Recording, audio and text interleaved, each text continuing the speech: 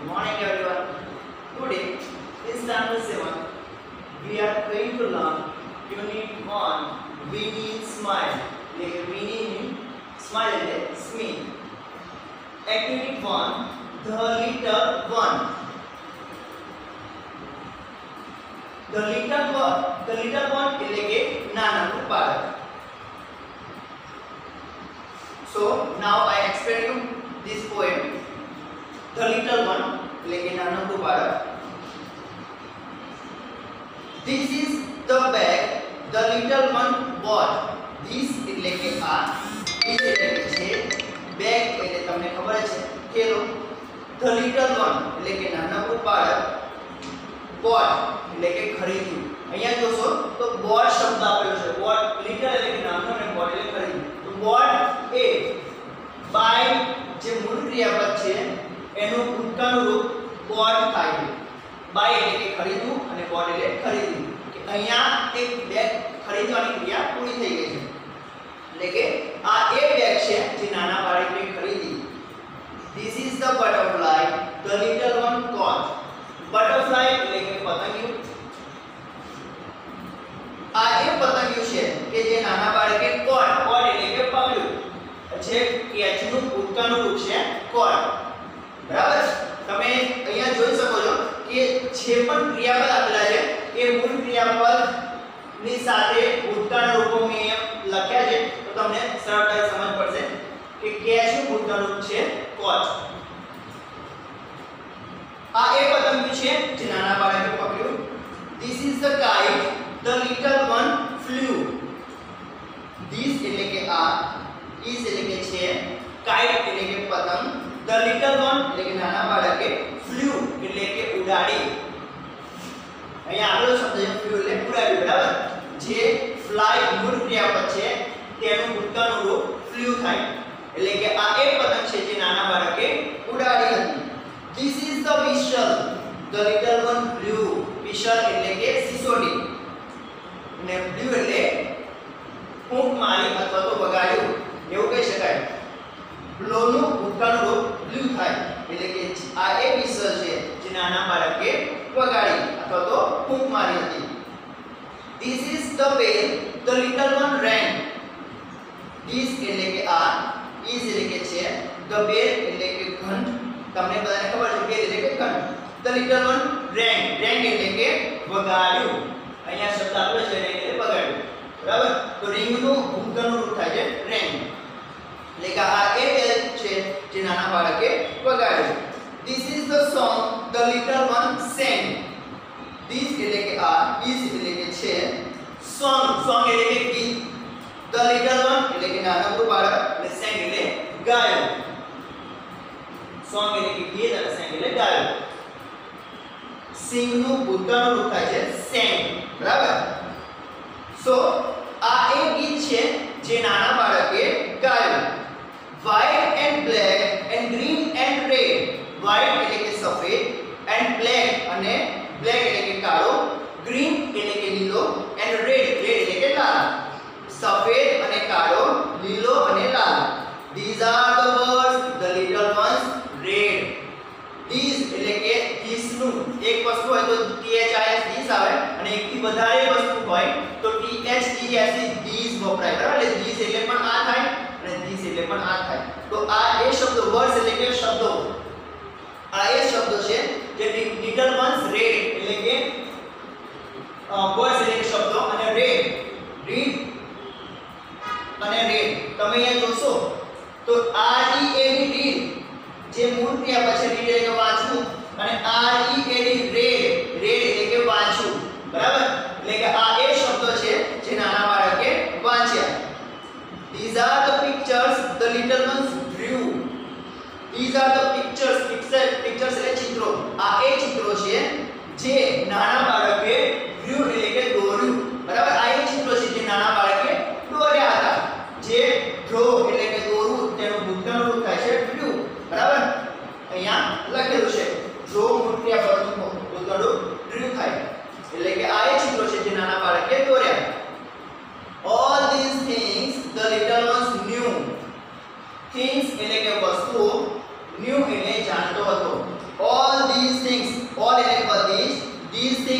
આ બધી વસ્તુઓ જે નાનકડું બાળક જાણ જાણતો હતો બરાબર આ બધી વસ્તુઓ જે નાનકડું બાળક જાણતો હતો હવે અહીંયા તમે જોઈ શકો છો કે કે એનો મતલબ નો એટલે કે જાણ્યું જેનું ભૂતકાળ રૂપ થાય છે ન્યુ એટલે કે જાણ્યું આ એ શબ્દો છે જે નાનો નાનકડું બાળક જાણતો હતો ઓકે અહીંયા poem finish now make a list of rhyming words એટલે કે સરખા પ્રાસવાળા અથવા તો સરખા અવાજવાળા શબ્દોનું લિસ્ટ એટલે કે યાદી બનાવો ફર્સ્ટ એક્ઝામ્પલ ઇઝ taught એટલે કે શીખવાડ્યું and it's rhyming word is bought એટલે કે ખરીદ્યું સેકન્ડ flew એટલે કે ઉડાડ્યું and it's rhyming word is blew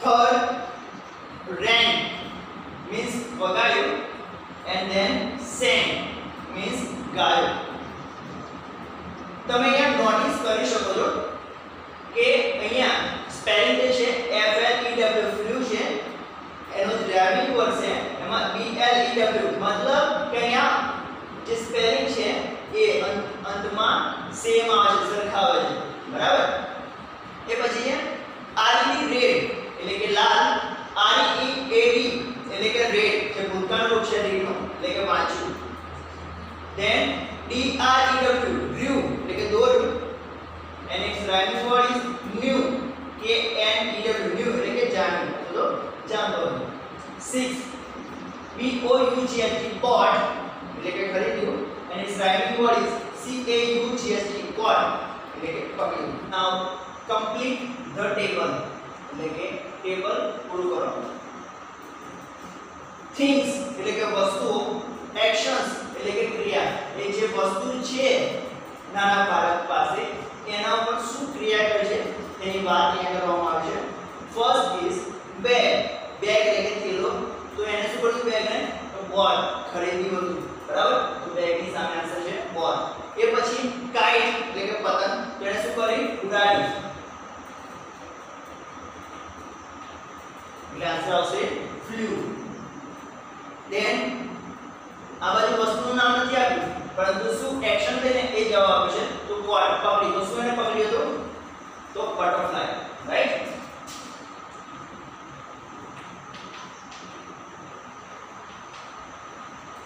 butterfly એટલે કે પતંગિયું પકડ્યું હતું.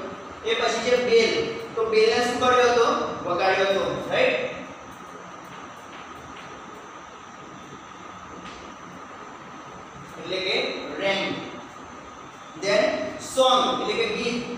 કર્યું ગાયું હતું એટલે કે sang then pictures એટલે કે ચિત્રો શું કર્યા હતા drew દોર્યા હતા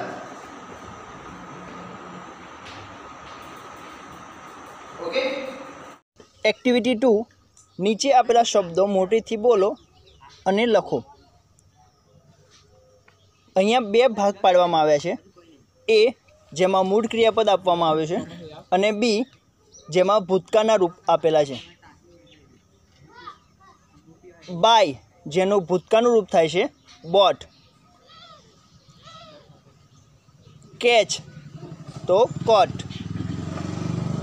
ફ્લાય, તો flew blow blew draw drew know knew, sing, sang, read, read. Next, વિભાગ બીમાંથી યોગ્ય શબ્દો પસંદ કરીને ખાલી જગ્યા પૂરો. સો હવે જે આ એઇટ બ્લેન્ક્સ આપવામાં આવી છે, તેમાં આપણે જે આન્સર જવાબ મૂકવાના છે, એ આપણે એક્ટિવિટી ટુમાં જે મૂળ ક્રિયાપદ અને પછી તેના ભૂતકાળના રૂપો જે આપવામાં આવ્યા હતા, તે ભૂતકાળના રૂપો અહીંયા યોગ્ય રીતે મૂકવાના છે. Okay? So first my mother blank sugar from the market આપણે જાણીએ છીએ કે અહીંયા બજારમાંથી ખાંડની ખરીદવાની વાત થાય છે. કેમ? આપણને ખબર પડી કે ખરીદવાની વાત છે. કેમ કે અહીંયા સુગર ફ્રોમ ધ માર્કેટ એવું લખ્યું છે, એટલે કે સુગર ખાંડને શું કર્યું હશે? ખરીદી હશે, બરાબર? એટલે અહીંયા બોટ આવશે. શું આવશે? Bought we blank kites last Uttarayan. તો હવે અહીંયા લાસ્ટ ઉત્તરાયણ શબ્દ વપરાયો છે. તો પતંગ, એટલે કે કાઇટ્સ તેને શું કર્યું હશે? ઉડાડી હશે રાઈટ એટલે આવશે flew F L E W flew ત્યારબાદ third number my younger brother blank a beautiful picture in the school competition હવે અહીંયા યંગર બ્રધર એટલે કે નાનો ભાઈ, મારા નાના ભાઈએ શાળાની સ્પર્ધામાં સુંદર ચિત્ર, તો હવે સુંદર ચિત્રને શું કર્યું હશે? દોર્યું હશે રાઈટ તો ડ્રો તેનું ભૂતકાળ રૂપ મૂકીશું, તો આવશે drive traffic police blank the whistle and stopped the car હવે વિસ ટ્રાફિક પોલીસ ખાલી જગ્યા વિસલ અને ગાડી ઊભી રાખી. એટલે વિસલને શું કર્યું હોય? વગાડી હોય. રાઈટ એટલે બ્લોનું ભૂતકાળ રૂપ બ્લ્યુ મુકાય. એટલે અહીંયા આવશે blew then I blank the Ramayana in the morning મેં રામાયણ સવારમાં. તો રામાયણ શું કર્યું હોય? વાંચ્યું હોય. બરાબર? એટલે કે આવશે રેડ જે રીડનું રીડનું ભૂતકાળનું રૂપ છે. Next six number my grandfather blank four languages મારા દાદાજી ખાલી જગ્યા ચાર ભાષાઓ. એટલે ચાર ભાષાઓને જાણતા હતા. તે લખવા માટે આપણે શું લખીશું? કે એન ઈ ડબલ્યુ ન્યૂ એટલે કે જાણતા હતા. જે નો કે એન ઓ ડબલ્યુનું ભૂતકાળનું રૂપ છે. Next seven number, Cheteshwar blank the ball and threw at the stumps એટલે કે ચેતેશ્વરે ખાલી જગ્યા બોલ અને સ્ટમ્પમાં ફેંક્યો. તો બોલને શું કર્યો પહેલાં? પકડ્યો હતો. રાઈટ એટલે કેચનું ભૂતકાળનું રૂપ કોટ મુકાય. બરાબર? C A U G H T caught એટલે પકડ્યો. Then eight number today Sejal blank a nice bhajan in the prayer assembly એટલે કે આજે સેજલે પ્રેયર એસેમ્બલી એટલે કે પ્રાર્થના સભામાં અથવા તો પ્રાર્થના ખંડમાં સુંદર ભજન. હવે સુંદર ભજન શું કર્યું હોય? ગાયું હોય. ઓકે? એટલે સિંગ એટલે કે ગાવું, અને તેનું ભૂતકાળ રૂપ મુકાશે સેંગ, એટલે ગાયું હતું, ઓકે? સોહનને તેના જીવનમાં બનતી ઘટનાઓના ચિત્રો દોરવાનો શોખ છે. તેને દોરેલા ચિત્રો અને મોહનને કહેલા વાક્યો તેની ડાયરીના પાનામાંથી વાંચો. Six January two thousand twelve Friday છઠ્ઠી જાન્યુઆરી બે હજાર બાર, શુક્રવાર. it was six January two thousand twelve છ જાન્યુઆરી બે હજાર બારનો દિવસ હતો ઇટ વોઝ માય બર્થડે તે દિવસ મારો જન્મદિવસ હતો my father bought a bicycle for me bought એટલે કે ખરીદ્યું બાયનો ભૂતકાળનું બોટ માય ફાધર મારા પપ્પાએ અથવા તો પિતાજીએ બાઇસિકલ એટલે કે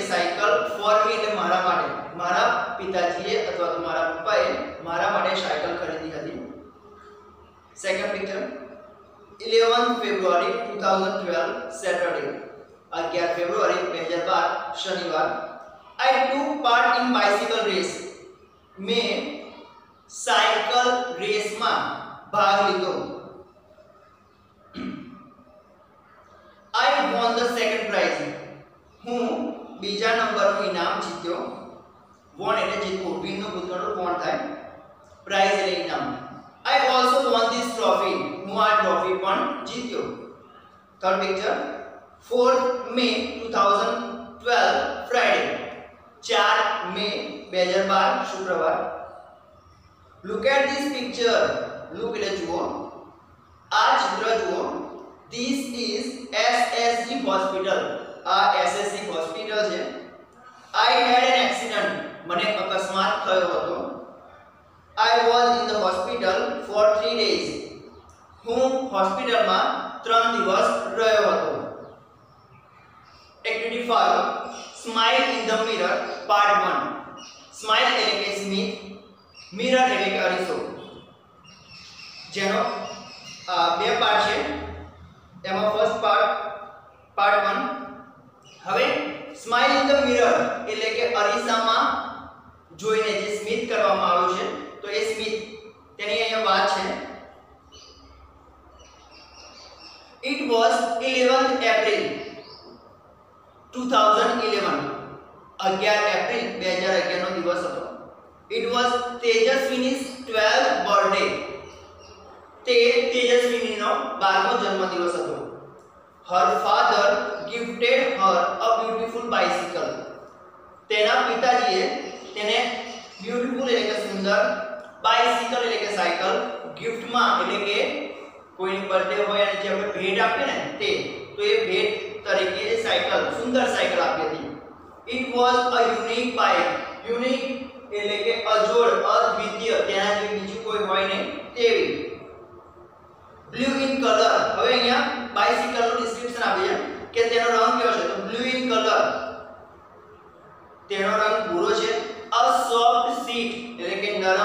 સીટ છે અ લિટલ બેલ એક નાનો બેલ છે and a rear view mirror rear એટલે કે પાછળની બાજુ આપણે જોઈ શકાય તેવો અરીસો when tejaswini saw her bicycle she said wow when એટલે કે જ્યારે Tejaswini saw S double A C એટલે કે જોવું અને એસ એ ડબલ સો એટલે જોયું જ્યારે તેજસ્વીને તેની સાયકલ જોઈ તો તે બોલી શું બોલી વાવ એટલે કે જ્યારે આપણને કંઈક અલગ જ જોઈએ થોડું સરપ્રાઈઝ જેવું લાગે આશ્ચર્ય જેવું લાગે એ વખતે અને જે ખુશીના ભાવ હોય તો એ વખતે જે ભાવના પ્રગટ થાય છે તો એ માટે જે શબ્દ અહીંયા પ્રયોજવામાં આવે છે એ છે વાવ એટલે કે કંઈક અદ્ભુત she felt proud felt એ ફીલ નું ભૂતકાળનું છે felt એટલે કે અનુભવ્યું proud એટલે કે ગર્વ અથવા તો અભિમાન તેને ગર્વ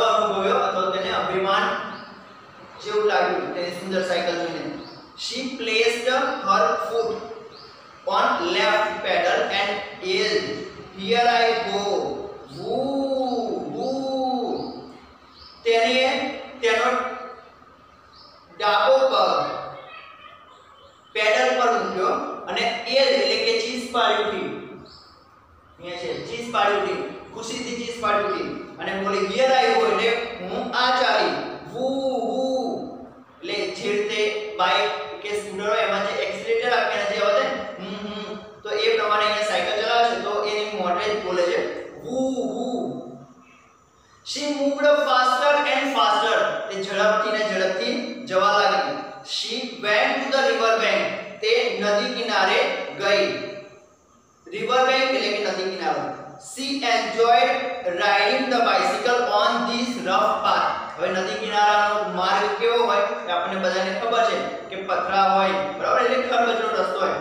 તો સી એન્જોયડ તેને આનંદ લીધો. સાનો રાઇડિંગ ધ બાઇસિકલ સાયકલ સવારી કરવાનો. બરાબર? સાયકલ સવારી કરવાનો. On this rough path rough એટલે કે ખરબચડો પાથ એટલે કે રસ્તો તો માર્ગ. અહીંયા આપણે શબ્દો લખ્યા છે. બરાબર? તો તેને આ ખરબચડા રસ્તા ઉપર સાયકલ સવારી કરવાનો આનંદ લીધો. She was riding at her top speed. તે તેની સૌથી શ્રેષ્ઠ ગતિએ અથવા જે સૌથી ઝડપી ગતિ કહેવાય એ ગતિએ સાયકલ સવારી કરવા લાગી then she noticed a red button near the bell then ત્યારબાદ તેનું ધ્યાન ગયું ક્યાં ગયું a red button near the bell બેલની નજીક એક લાલ કલરનું બટન હતું ત્યાં તેનું ધ્યાન ગયું what was that તે શું હતું she pushed the button તેણીએ એ બટન દબાવ્યું push એટલે દબાવવું lo and behold જુઓ તો ખરા શું થયું હશે there came out a big fan on the rear wheel અહીંયા લખ્યું છે બરાબર lo and behold એટલે કે જુઓ તો ખરા જે શું થયું છે એની વાત અહીંયા છે તો there came out a big fan on the rear wheel એટલે કે પાછળના wheel તરફથી એક પંખો ઉપરની બાજુ આવ્યો the fan started rotating rotate એટલે કે ફરવું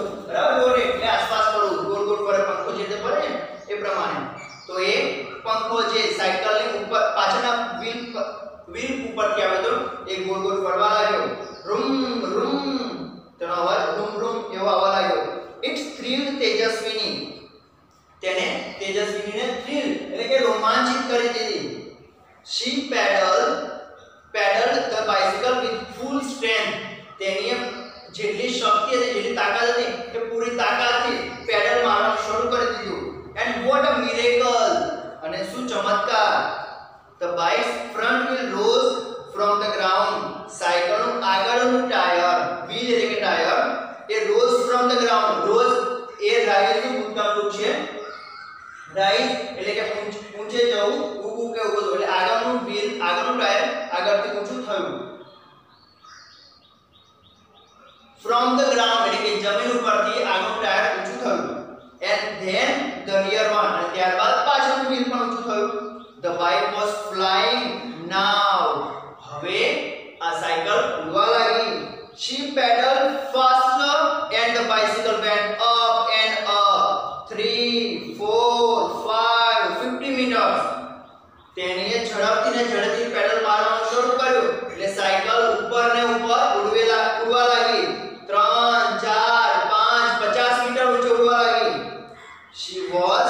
thrilled તે રોમાંચિત થઈ ગઈ હતી now she now on the beach was flying હવે તે ઉડી રહી હતી over the river નદી ઉપર થઈને બરાબર she looked down તેની નીચે જોયું oh is that a kite in the river અરે નદીમાં કાઇટ એટલે કે પતંગ નદીમાં પતંગ છે it was a boat ના એ પતંગ નહોતી પરંતુ બોટ હતી પરંતુ તે ઊંચેથી જોતી હતી ને એટલે એ બોટ તેને પતંગની નાની દેખાતી હતી she turned the handle towards her village towards એટલે ની તરફ અહીંયા લખ્યું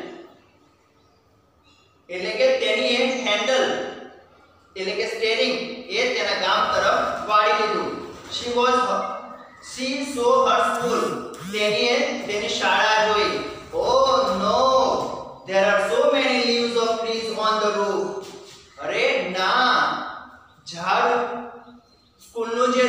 રૂફ છે એટલે કે છાપું છે અથવા તો છત જે કહેવાય એ છત ઉપર ઝાડના ઘણા બધા પાંદડા પડ્યા હતા લીવ્સ એટલે લીફનું બહુવચન પ્લુરલ ફોર્મ લીવ્સ થાય બરાબર એટલે પા- ઝાડના પાંદડા પડ્યા હતા I will clean them tomorrow આ પાંદડા હું આવતીકાલે સાફ કરી નાખીશ she thought તેણીએ વિચાર્યું what else could she see from there બીજું શું તેણી ત્યાંથી જોઈ શકી આપણે એવું કહી શકીએ કે તેજસ્વીની could see the village temple near the river એટલે ગામમાં નદીની નજીક જે મંદિર આવેલું હતું તે તે જોઈ શકી હતી some boys were playing cricket on the ground એટલે કે મેદાનમાં કેટલાક બાળકો ક્રિકેટ રમી રહ્યા હતા તે જોઈ શકી હતી she could also see the post office and the primary health center તેણીએ પોસ્ટ ઓફિસ એટલે કે ટપાલ ની ઓફિસ જે હતી તે પ્રાઇમરી હેલ્થ સેન્ટર એટલે કે પ્રાથમિક આરોગ્ય કેન્દ્ર, એ પણ તેને જોયું. She could also see the village market તેણીએ ગામનું બજાર, એ પણ જોયું. It was crowded, અને આપણે બધા જાણીએ we know that, કે બજારમાં હંમેશા ભીડ જ હોય છે. As she turned around, she could see her own house, જેવી તેને પાછી ફરી, તો તેને પોતાનું ઓન એટલે કે પોતાનું ઘર પણ જોયું. બરાબર? એટલે તે પાછી ફરીને તેને તેનું ઘર જોયું now smile in the mirror part 2 હવે બીજો ભાગ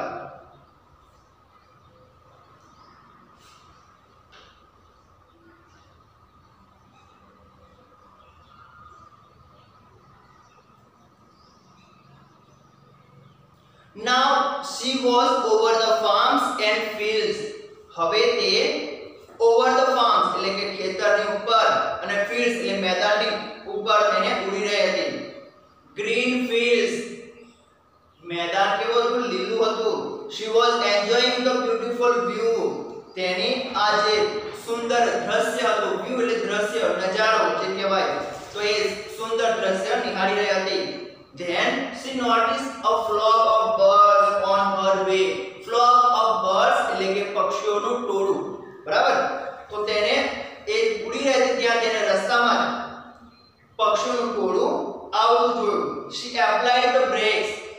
બ્રેક લગાવી the van stopped and the bike started coming down શું થયું કે જેને તેને જે બ્રેક મારી એટલે પંખો ફરતો બંધ થયો અને જેવો પંખો ફરતો બંધ થયો એટલે સાયકલ નીચે આવવા લાગી Tejaswi closed her eyes and held the handle tightly તો તો તે જે સાયકલ નીચે આવવા લાગી એટલે તેજસ્વીને તેની આંખ ગભરામણથી આંખો બંધ કરી દીધી અને હેન્ડલને એકદમ ટાઈટ પકડી લીધું બટ વિધિન સેકન્ડ્સ થોડીક જ સેકન્ડમાં ધડામ શી ક્રાઇડ આઉટ ઓ માં શું થયું સાયકલ ઉપરથી નીચે પડી અને ધડામ કરતો અવાજ થયો એટલે તે બૂમ પાડી ઉઠી ઓ માં she opened her eyes તેણે તેની આંખો ખોલી ઓ માય ગોડ હે ભગવાન it was a dream dream એટલે કે સ્વપ્ન આ તો સ્વપ્ન હતું she got up તે ઊભી થઈ washed her face and looked into the mirror તેણે તેનો ચહેરો ધોયો અને અરીસામાં જોયું hmm it was a dream this time but it will not be a dream forever તે બોલી શું બોલી ઇટ વોઝ ડ્રીમ આ સ્વ- સ્વપ્ન હતું આ સમયે પરંતુ આ સ્વપ્ન ફોરએવર એટલે કે હંમેશા માટે આ સ્વપ્ન સ્વપ્ન નહીં રહે શી promised herself. તેને પોતાની જાતને પ્રોમિસ વચન આપ્યું. શું વચન આપ્યું? I will make a bike like this and I this and fly over my village હું આવું જે સ્વપ્ન આવ્યું હતું તેવી સાયકલ બનાવીશ અને આ ગામ ઉપરથી ઉડીશ. She smile at herself in the mirror અને અંતમાં લાઈન છે કે તેણે અરીસામાં જોઈને સ્મિત કર્યું. એટલે એ જ આપણું લેસનનું ટાઇટલ છે smile in the mirror okay આ જે હાર્ડ વર્ડ છે, એ તમે બધા નોટબુકમાં લખી લેજો, જેથી તમારે વોકેબ્યુલરી થોડી વધે. બરાબર? શબ્દ ભંડોળ વધે એટલા માટે છે અને અંગ્રેજીમાં પ્રોપર ફોરેનમાં લખજો. Okay now this lesson finish here thank you